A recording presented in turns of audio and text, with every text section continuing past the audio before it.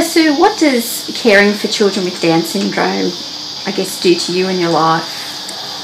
Um, provide for you in your life? Yeah, well, I think, well, certainly since we lost Sarah, it's sort of given us a lot back. We had this beautiful world that Sarah was a part of with us, that she created, and I think that having the boys in our lives has brought that back to us. So it's a, um, it sort of breaks it down to being quite simple, um, quite innocent, quite pure, and um, I mean, yeah, we have our, our days and our moments and that type of thing. But I think generally, it's just a it's a beautiful world to live in. It's it's um, they're just lovely children. Yeah. And how important do you think it is for communities to recognise events like International um, Down Syndrome Day?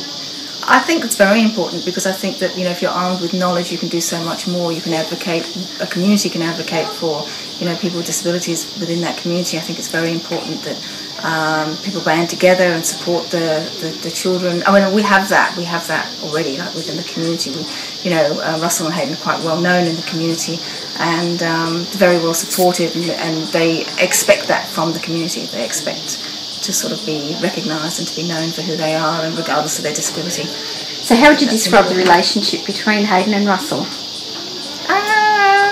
Like any other relationship, I think between brothers, they have their moments, they have their spats, and they'll, um, you know, um, fight over things.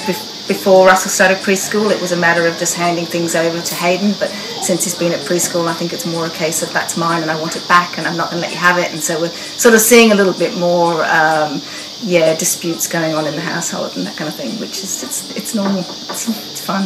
Yeah. Thank you. Thank you, okay. Sue. Thank That's you.